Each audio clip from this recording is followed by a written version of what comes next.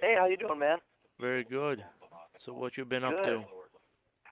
Oh, just you know, working and recording the new album, and uh just man, you are punctual. My God, it is straight up eight o'clock.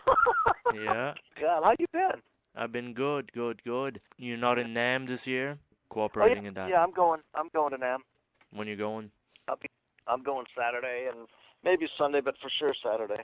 Greg Leon, what you've been up to in this um, sunny weather of California? I'm sure you've been working hard. I've been working really hard on the new record and uh got a couple of band member changes, some uh some new guys and uh hoping these are the right guys and uh just been working on the new record. I'm finishing up the last song and uh, the name of the album is Tell the Children. And uh it's uh I think it's probably the heaviest record I've done so far. Of The four records, this will be the heaviest. Any uh, change in amps, guitars, tones you're using in this one, or? Well, I make you know I, I I'm really into electronics and I, I work on a lot of amps and stuff and I make some pedals. There's some uh, stuff that I've made and modified in here. The amps that I'm uh, I'm running right now I uh, completely rewired and uh, I'm running uh, you know Groove Tube speaker emulator so I can go straight into the uh, the console and then straight into the uh, actually I go straight into my tape machine. I still record tape. I got a a two inch 24 track studio and I just love the sound of it. You don't get them too often uh, these days. Probably hard to No, not these days. But everybody that hears this stuff, they freak out and say, "Man, this is the fattest sounding record." And it's true, man. I do a lot of sessions for other people, and it's always in Pro Tools or you know one of these other uh, digital thing, and it just always sounds small. And I'm using the exact same equipment when I go in, but when they play it back, I just go, "Man, thank God I kept all my tape stuff and all my tube mic pre's and all my good tube mics and all the stuff I've been collecting since I was a kid." And you know, I got uh, I got quite a studio now. So the 24 track tape recorders you got here are are the reel to reels, the older ones? Oh yeah, yeah. It's a uh, 24 track two inch machine. So you can't Yeah. buy them anymore. Oh no, they haven't made these for years. You uh Wow. there's uh there's kind of a demand starting to come back because people that are really into audio realize that tape is the way to go. It just nothing sounds like tape or feels like tape. Uh when you uh you play do the playbacks. I mean there's a lot of times I, I do the playbacks and it's not like the drummer's playing right there in the room with me. The cymbal sounds so real and the bass is so deep and the thud and it just always cracks me up. It always makes me feel proud to uh you know that that I'm capturing this on tape the way that I am. When you play live, do you uh, mic your amps also with the board? Yeah, yeah. I I do mic the amps live, and I use uh, Shure 57 microphones for the uh, for the live sound. So you're playing in stereo most likely, Absolutely, yeah. And- Stereo chorus separating out. and also you're you're lined out through the mixing board, Right, exactly. so you get a very thick sound going on. Yeah. Now I read you've uh, replaced Randy Rhoads in Quiet Riot. Right. Yeah, I did. Uh, I played with uh, Kevin for about a year. It was the uh, Kevin DuBrow and Drew Forsyth, and uh, a guy that actually I brought along with me from one of my old bands, Suite 19, a guy named Gary uh, Van Dyke, and uh, Randy had called me up, and Kevin called me up, and uh, Randy's told me that he got the gig with Ozzy, and that he was I was his first pick for the uh, replacement. And uh, I would, couldn't have been happier. I mean, I loved Quiet Riot, and I was at the shows, and we used to do shows all the time, and you know, Randy and I were hanging out anyways, and out, we rehearsed at the same place they did. So, uh, you know, it just seemed kind of like a natural thing. I knew most of the music anyways from just hanging out with him and going to the shows for so long. So you've been friends with Randy Rhoads basically, and working at the institute where his mother yeah, teaches. yeah. I I was friends with Randy. I saw Randy uh, open up for Van Halen at the Glendale uh, Glendale College back in about '77. 76 or 77, and uh, I became fans of Van Halen and uh, Quiet Riot at that point. I was the front row center. I went with my drummer, who was the head of custodians at the time, and uh, he put some reserve seats on the front. And uh, I hadn't seen either one of these bands, and uh, it was definitely life changing to see both those bands. I went backstage and met Randy and uh, met uh, uh, Kevin, and I met all the guys from Van Halen by accident. I went back looking for Randy, and I wound up in Van Halen dressing room, and they were just getting ready to go on. They were very cool. I mean, I've I've hung out with them many times since then. But uh yeah, that was my first meeting with Randy and he was always just the best. Absolutely the best. And after that, he uh, he found you a job for uh, working as a guitar teacher, most likely. Yeah, yeah, he had a uh his mother owns and still owns to this day. His mother uh Dolores owns a music studio, a music school in uh in the valley here and uh it's called Musonia and when he went, he, he needed somebody to take his place, you know, to teach the kids because they didn't want to lose all the. I had about 85 students that I just. I went from teaching no one to teaching 85 people in like a slam of a week. I mean, it was just slamming on me, and uh, it was uh, it was that was life changing. Wow. You know, you rehearse, you uh, teaching all day, then you're rehearsing all night and playing shows on the weekend. So it was just nothing but guitar that whole time. Any uh, students that made it big that you taught? Um, yeah, I keep running into people, and people, you know, email me on stuff on like MySpace and stuff. But I, nobody I can think of out of the top of my head right now. There was a lot of people though, but uh, one of the guys, he, he's actually really big right now, is a guy named Peter Margolis, and he's a, a big-time director now. He works for Dakota Films, and he also does a lot of television shows, movies. But he's actually went pretty far with the music, but then he quit, and now he's a uh, a director, and he's actually the guy that's doing the new Randy Rhoads movie. He's the director of it and uh, producer of it And for you, Dakota Films. and you taught Peter Margolis. Well, just for a little while. It was mostly Randy, but uh, God, there were so many kids there, so many people that were taking lessons. It was it was crazy. I mean, 85 students a week. That's a lot of people to spend between a half hour and an hour with each. Yeah. Have different needs and different wants and stuff. You never What's taught that? Joe Holmes? Oh no, Which- no, I know Joe. I haven't seen him for a long time. In fact, I bought some equipment off him. No, I I uh, I don't know him that well. I've met him, but I don't know him that well. And at this time when you're teaching, you're playing in Dokken at the same time?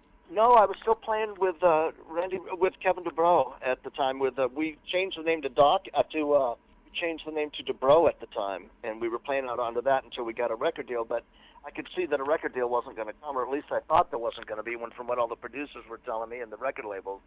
They told me to uh, to move on, you know, because nobody was going to touch Kevin because he had a pretty bad uh, reputation at the time as being hard to work with. So I left, joined Dokken, and uh, when that gig came to me, man, I was ready to go because Don promised that we'd be in Europe in a month, and sure enough, we were. Ever get to see uh, Ozzy Osbourne with Randy Rhoads live?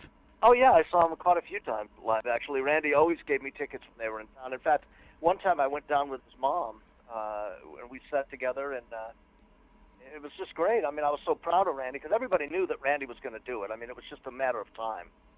He just had that thing that you just loved him when you met him, and when he was on stage, he had the you couldn't take your eyes off the guy. He just had the stage presence. What do you remember of the gigs when you seen Randy? Like the volume was immense loud? Um, it, it, he definitely was a loud guitar. He had a really unorthodox uh, setup at the time. He had a uh, uh, a 412 Ampeg cabinet with uh, Altec speakers in it, which no but no guitar player in his right mind would use. But he used that, and he had a solid state PV head that he used that was loud as hell, and he used a a, uh super distortion guitar effect made by MXR Yeah. and then his Les Paul, and uh, it was so directional with those uh, speakers in there. If you stood in front of it, you'd, you'd it just pull the hair right off your head. I mean, it was just so damn loud. But if you went a few feet over, it was okay. It wasn't that you know blistering. It's funny because I pulled Randy aside. I said, "You cannot possibly think that Ozzy's going to let you use this equipment." And he goes, "Well, I'm scared of losing my sound." And I started laughing. I go, "Randy, you don't even have a sound. Your sound is in your super distortion pedal." I go, "Let- "Why don't you let me lend you my equipment?" So I lent him my Marshalls and stuff, and uh, he fell in love with them at that. And then I guess Ozzy got him to deal with uh, with Marshall, and they did the amp for him. And he told me, I don't know if it's true or not, but uh, he told me that the amp that they gave him, they let him test out a bunch of ones, but supposedly it was the they what they at the factory called the the uh, Jimi Hendrix mod, whatever Really? the heck that was. I never got inside of his amps to look at them or anything, but. Uh, supposedly, he said that was the one that he chose. The one that got him closest to the sound he heard in his head was uh, that amp. So they made him some of those, and that's what he took out on the road with him. Like the, the 1959 model? Yeah, Something like that? That's interesting. yeah, it's really interesting. I never played through his amps though. Once he got with Ozzy, he was always so busy. I mean, I'd be, uh, you know, teaching at the school and stuff, and whenever he was in town, he'd always stop in and say hi and hang out. You know, we'd have a, uh, you know, a coke or s- uh, coffee together or something, and uh, we'd always hang out at night and stuff like that. But he was so busy, man. When he got in that band, he didn't have any time for anything but Ozzy. I mean, it was, it was unbelievable how how uh, how tight tight his time was. When did you join Dokken exactly? The time period? I believe it was 1981. I think it was 81 or 80. No, you know what? It was 80 because that was the year that uh, that uh, what's his name passed away. Uh, John Lennon passed away. It that was because I remember we were over in Europe and the, it was the weirdest thing. The night before uh, he got assassinated, I uh, I had this weird feeling come over me that I was thinking about all the famous bands, and every one of them had somebody that died, and I started naming like the Doors. I I'm talking, uh, you know, the Stones, uh, Hendrix, uh, Janis Joplin, all of these people. I just kept naming. I go, isn't it weird that as big as uh, the Beatles got, that nobody ever died in the Beatles? That you know, nothing funny happened. And I just had this weird. I, man, I got a weird feeling about the Beatles. And the next morning, the newspaper read John Lennon shot dead in New York. And this was I was in in Germany when when I saw this. I couldn't believe it. And the guys looked at me and said, "Dude, if you ever have a weird feeling about me, please do not tell me." Wow. Yeah, it was very, very surreal. That whole day was just like a dream, and people were out in the streets over in Germany, and oh, it was just terrible, just so, terrible. So this is before you joined Quiet Riot.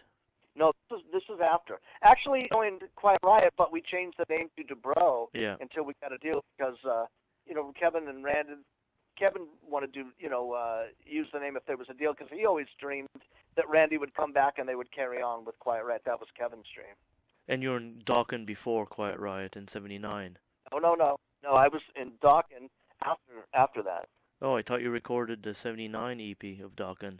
Uh, I did. Recorded that over in Europe with uh, with Dieter Dierks produced that, and uh, that's actually the the recording that got them their record deal. What would that date be? Oh God, I don't know. I don't know. It was uh, over in. It must have been 1980 if if I recorded with Dokken over there. I mean, when I recorded with Dokken over there, because that was the year that John Lennon died. That's how I always preference it Okay. because uh, so many things that happened. But I know where I was when John Lennon died, and I was in Germany, in Hamburg, Germany, with on tour with Dokken. Hmm. and that's when we did the recordings. There, we took a couple days off and went into the studio with Dieter Dierks from the Scorpions and uh, laid down about eight or ten tunes, and that was the tunes that uh, Don shopped and actually got a record deal with Carrere Records that time, and then it turned into the deal with Elektra. You know, on Wikipedia it states that you're you're in Dokken from '77 to '79. Is that true? No, it, it would probably be uh, 79 and 80. '79, '80. I, I haven't even read that Wikipedia thing. Is that what it says? Uh, I don't know how this stuff gets out there, but uh, yeah, it was definitely 80. Definitely 80. '79, '80. Then Uh, no, it had to be later than that. really? Okay, that could be Definitely later than that. Yeah, that was like 82 or 83. You played also with Tommy Lee. Was that a good lineup? Oh, it was wonderful. I mean, uh, I had a, another drummer at the time who I'm still great friends with, a guy named Gary Hallinan, who who goes by his professional name is Gary Holland, and he was in Great White, and he was in Dokken with me too. He was he was the original Suite 19 drummer, and uh, we had a little falling out for a little while. And uh, Tommy Lee used to follow my band around, and he was every gig he was like, dude, dude, dude, dude, dude, I want to play with your band, dude, I want to play with your band. I love what you do, and I, I know every one of your songs. I've been to every gig, and he was like this 17 year old kid, so I didn't really take him serious. And uh, this kept going on and going on, and finally, you know, Gary and I took a break, and uh, I, I still wanted to go on with the band. And I went to this club called the Wood Sound, and I ran into uh, Tommy Lee, and he's uh, he's you know, dude, dude, dude, dude, dude, we got you know, he's going on, and uh, I said, you know what? What are you doing tomorrow? And he goes, I'm playing with you. I go, good. What's your address? And he go no, he goes, uh, I'm playing with you, and he goes, I got a studio. All you got to do is show up, and we can play all day and all night. And he goes, and I got a bass player too. So had a bass player, John Kemp, from his old band, and we got together and we played together. A, I don't know, a year or two, and played all over, the, you know, the Starwood and the Whiskey and all these shows. And Tommy was great. It, Tommy was absolutely great. He was as good then as he is right now. And uh, even at 17, I could not believe the talent this guy had. He was a natural. You gonna be playing uh, any uh, tours in the near future? Or you're just gonna be playing Well, California? I just, yeah, I just signed a deal with a label called FNA Records out of Nashville, Tennessee, and they are trying to put together a tour right now to uh, to get me back out there. We uh, we went out last year. We went to the East Coast and played a bunch of, dates out in Maine, and uh, now we're trying to uh, we're going to probably be going out. I'm hoping in the spring uh, or the summer, but uh, definitely the spring. And we're talking to, uh, I guess the label's talking to an agency, and they're trying to get us to Japan because I know in Japan there's a huge Greg Leon invasion following because I get so many emails from them and so many. I even get uh, like the last 20 years, I get Christmas cards from the fans over there, and uh, it's just amazing. I mean, they just love you know what I do and stuff. So I, I hope that we can get that together and go over there. It's not like I don't want to go over there. I'd love to go over there. Could that be some sort of connection with Quiet Riot since they had that big Japan following? Yeah, I'm sure there is. That definitely adds to the Greg Leon Invasion curiosity. The the Dokken Association, the Quiet Riot Association, and the Randy Association. Yeah. Um, yeah, that definitely. I'm sure that's going to play into it. That's what the label is hoping. In, anyways, because uh, th- I should be out there playing. I mean, hell, I was one of the guys that started this whole thing. I shouldn't be, uh, you know, not playing. What do you see in the near future? You're going to be releasing that new album and shopping it online and. Uh... I've already got distribution for the new album through my new record label, FNA Records. Okay. And so people can go to fnarecords.net and uh, they can find the albums there. There's the other three albums are already there for sale, and then there'll be the new one when it comes out. And I think after the new one comes out, they're going to offer a box set at, and you get all four CDs and you get a discount price on it. And that way, everybody has everything that I've done, you know, as far as the invasion goes. So what are you going to be doing at NAMM this year? Oh, I've just talked to uh, you know the vendors and stuff, and talked to uh, product reps and stuff like that. And you know, I run into a lot of people that have followed me for years too, and I got a lot of friends that uh, uh, you know I don't see, but maybe once a year, once every other year, or something. That uh, either people that I played with in former bands, or people that own businesses that I've dealt with, and it's just a good meeting place where you can go and uh, hang out and run into people and. Uh, you know, people come up and they want to get their picture taken with you and stuff, or mm-hmm. or they just want to ask you questions. You know, they want to know how do you get that sound, or what effect we're using on this song, or whatever, or what was it like to know Randy Rhoads? I mean, that's the one, another one I get. You know. Randy Rhoads, uh, Jackson just unveiled the Concorde guitar, the white one, that they're re-releasing, oh. 60 editions. I think oh, they wow. just unveiled that at NAMM. I've seen a YouTube video before calling you. Wow, great. For twelve thousand dollars each. Oh my God! Yeah. You know, I uh, I actually was the guy that took Randy out to uh, meet Grover Jackson out at Charvel when he had the original Randy Rhoads uh, Flying V made, and because uh, he did, I had an endorsement deal with him, and uh, I wanted to help Randy out, and uh, so we he took him and I went out there, and he took the little plans that he had written down on a big piece of paper, full size guitar that he drew out, and uh, the three of us just whittled it down and came up with the rough of it, and then Jackson uh, Grover ended up, uh, you know, finishing the thing off and presenting it to him, and he loved it. So that, that's uh, another little piece of history there. The Concorde. No, no, the Randy Rhoads uh, guitar. I don't know anything about the Concorde. It's probably just a reissue of the original one that Charvel did. Okay, you're... Or Jack. They they changed the name to Charvel at that point. Well, Greg, it was a pleasure talking to you. It's a pleasure talking to you too.